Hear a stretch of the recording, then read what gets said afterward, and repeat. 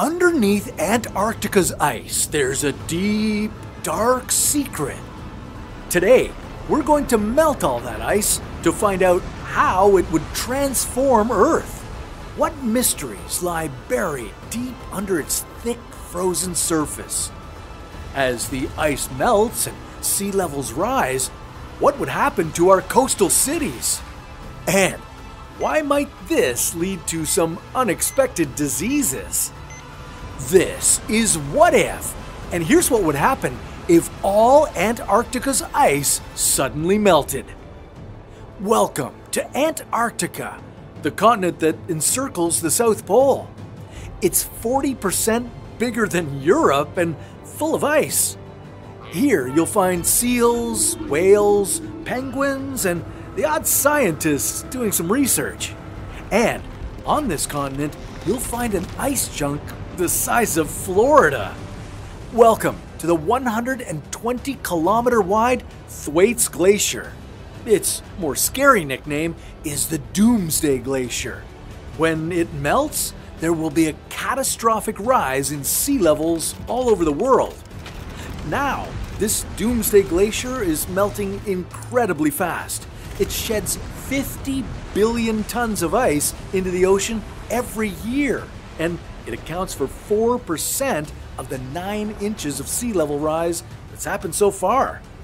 Some scientists are predicting that the whole thing might melt in decades rather than centuries. But we don't even have a few decades to hang around, let alone centuries.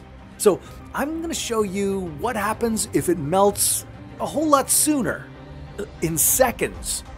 In just a few seconds, Thwaites has melted and flowed into the Southern Ocean that surrounds it, and from there into the Indian Ocean, the Atlantic, and the Pacific. Sea levels rise by 60 centimeters around the world. The streets of San Francisco are getting flooded. Miami and New Orleans are also rushed with water. But what's going on? Why did this glacier crack and break away from the rest? There's something going on underneath. Beneath Thwaites is a massive river flowing fast. Melted ice from the iceberg is feeding it. This is happening thanks to geothermal energy from the Earth's molten interior. The melting process starts off slow, but eventually, huge chunks of ice break off. This starts a chain reaction, causing more and more ice to break off and melt. And there's more to it than just one river. A whole world of mysteries lies beneath the ice of Antarctica. But before I take you to that fascinating underworld, I want to tell you about why Antarctica is so important. It's an ice sheet covering an area of 14 million square kilometers, with an average thickness of over 2 kilometers.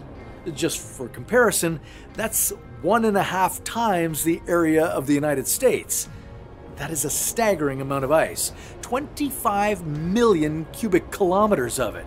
It's 90% of all the ice on the globe, and locked up in that ice is 60% of Earth's fresh water. Now, unlike the Arctic, where the ice is floating on water, there's land beneath the ice in Antarctica.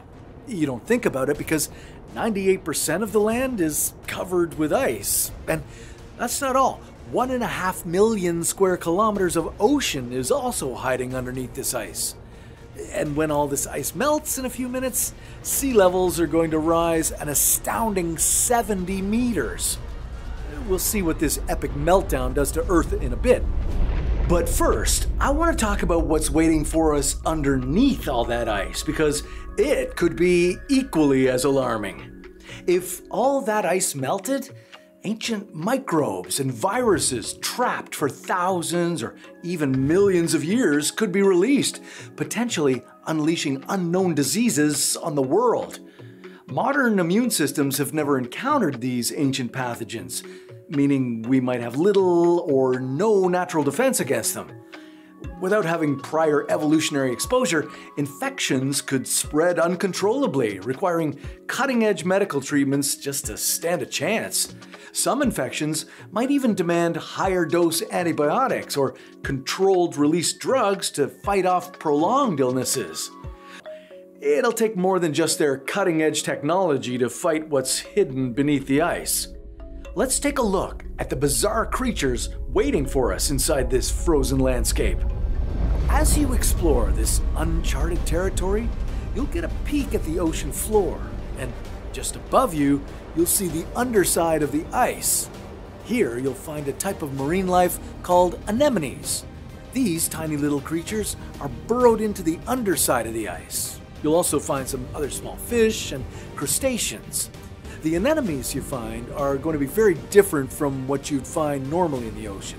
They're a new species with an unusual trait. See, anemones usually stay rooted to a single spot, kind of like a plant, but these Antarctic anemones wriggle about in the water. Scientists are still figuring out where they're trying to go. Okay, almost nothing grows in that cold darkness, right? So, what are these creatures eating, and how are they surviving? Well, it's probably little bits of plankton and poop ferried in by ocean currents, but they're also eating something that's super weird and kind of gross. It's the ocean equivalent of rotting food in the back of your fridge. These creatures are eating millions of year old rotting skeletons, bodies, and ancient bacteria that were around when Earth was much warmer. Ooh, watch out! A few more massive glaciers are about to break off. As the neighboring glaciers to Thwaites separate and melt, more water pours into the oceans. Worldwide, sea levels rise another two and a half meters. Cities on the east coast of the United States are covered in water. Boston, New York, Miami, millions of people are affected. Even as cities are getting submerged, something bizarre would be going on right off the coast of Antarctica. Close by, the sea level would actually be falling as all this ice was melting, while the sea level further away would be rising. Now, why would this strange event be happening? Well, remember, the Antarctic ice sheet is enormous. It weighs a mind boggling 24 billion megatons. So it exerts its own gravitational pull on the surrounding waters, which raises the sea level nearby. But when the ice melts, the power of that gravity is gone, so sea levels nearby fall, just as they're getting higher elsewhere. Over in the east end of Antarctica, the Denman and Scots glaciers have melted. This adds another one and a half meters of water to our oceans. Now, at a four meter rise, the United States is now losing national monuments. The Jefferson Memorial is underwater, Fenway Park is submerged, major coastal cities around the world are also flooded. Shanghai, Lagos, Mumbai, Jakarta, ports are flooded and destroyed. All that salty water is flowing into farmland and destroying our crops. Even worse, underground aquifers that give us drinking water are now contaminated with saline spilling over from the ocean. What's scarier is that the contamination runs deeper than just salt. The Antarctic ice carries bacteria that have traits that are dangerous to human beings. Some of these bacteria cause infections and they're linked to diseases like cystic fibrosis. But it gets worse. They have an even more deadly superpower. They're resistant to the antibiotics we use to treat diseases today. If they exchange parts of their genes with the bacteria of our world, the resistance to drugs will only grow and spread to even more bacteria. At this point, we humans would be toast. We'd no longer be able to fight off bacterial infections. Not good if we're drinking contaminated water. But, like any Hollywood villain, these bacteria also have a good side. They can help us create new and better antibiotics. They can help clean up toxic waste sites and maybe even be part of a new biodegradable alternative to plastics. As more and more ice breaks off and melts, other ecological systems are getting thrown out of whack. For one, the melting ice is changing the way ocean currents flow. Uh, before all this ice melted, the water in the oceans moved around in a very particular way.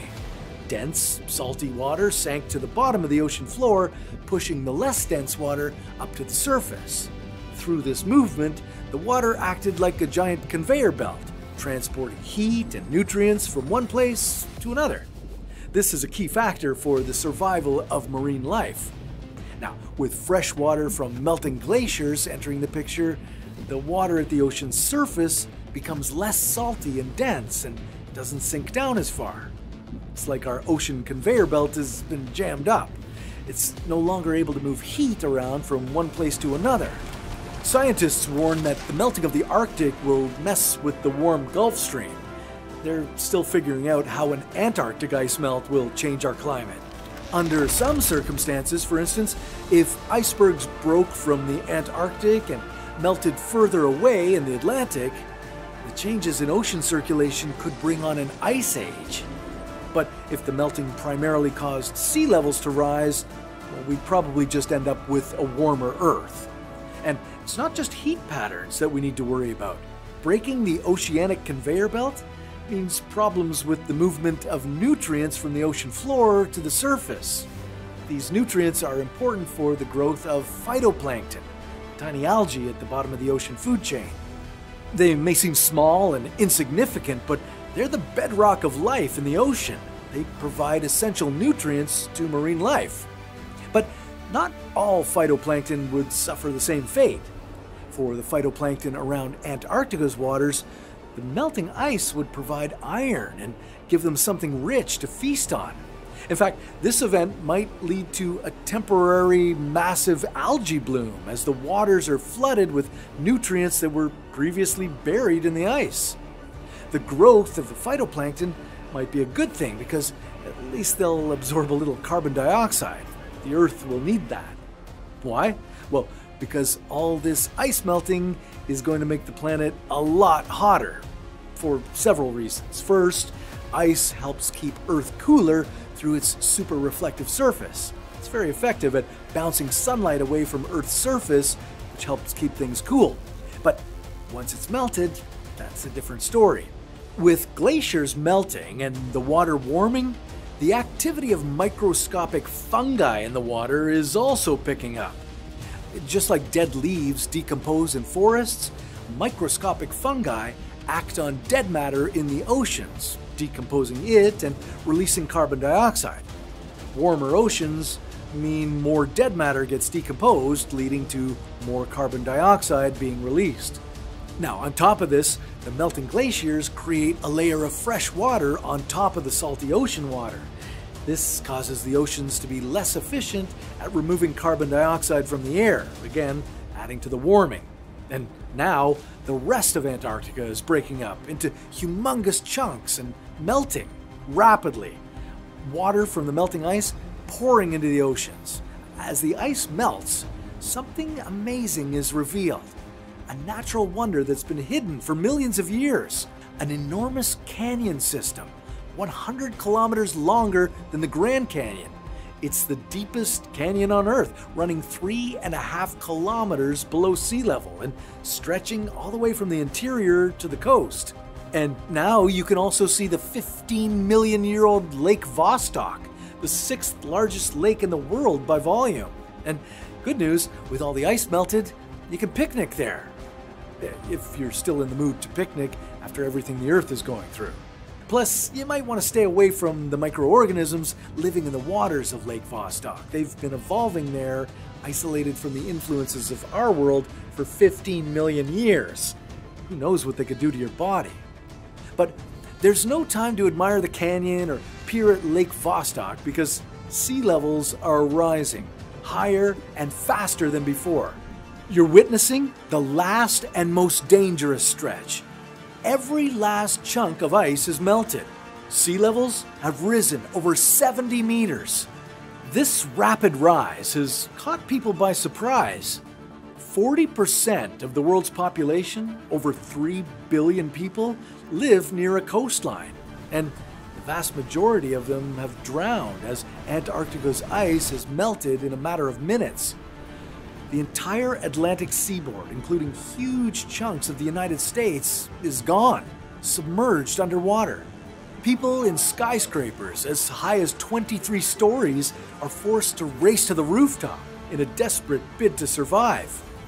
Parts of California are transformed into bunches of little islands surrounded by water, and other parts of the state are completely gone.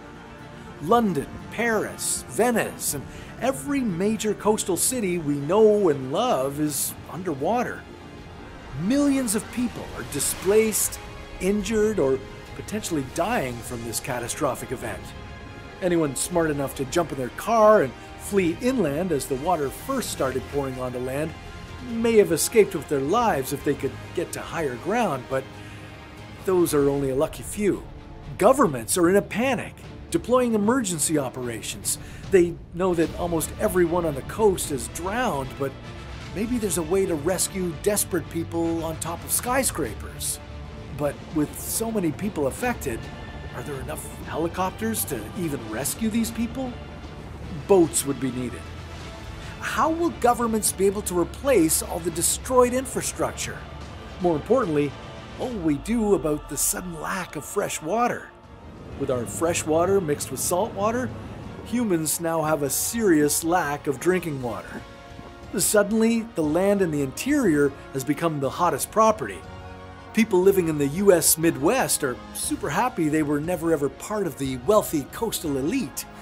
Denver, Minneapolis, and Las Vegas are looking more attractive than never before. Now, nations in the southern part of the globe are hit even harder.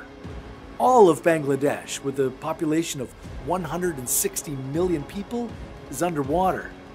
Geopolitical tensions rise as countries are looking for aid, but since so many places are hit, help is hard to come by. Now that all of the ice is gone, there's still another thing that has to melt the permafrost. This is the soil that's been frozen at the poles for more than 40,000 years. As it thaws, it releases the carbon dioxide and methane that are trapped underneath it, causing the Earth to warm more and melt even more of the permafrost. As the permafrost thaws, it's as if someone popped a frozen dinner into the microwave. Tiny organisms start to munch on the freshly thawed ancient organic matter. As they do this, they fart out carbon dioxide and methane, which causes global temperatures to rise even more. Great, now we're breathing in microorganism farts and it's getting hotter. Worst scenario ever. Oh, but it can get even worse. In the midst of all this, it's possible that DNA viruses in the permafrost will thaw and kick off a global pandemic. Creating a vaccine in the midst of this catastrophe would be a challenge like never before. Plus, it's hot. Earth is 5 to 10 degrees Celsius warmer. The heat is what's driven the entire ice sheet to melt, but now these changes are making it even hotter. With the average temperature on Earth now almost 27 degrees Celsius, a mass migration of people begins. The most popular spots? Well, Canada, Alaska, and the newly unveiled Arctic and Antarctic regions. These are the new tropical paradises. 34 million years ago, Antarctica was a temperate rainforest like New Zealand. Maybe that's going to happen all over again. Palm trees on the Antarctic coast and alligators swimming in the warm South Ocean. Thank goodness Antarctica is not actually melting in a matter of minutes.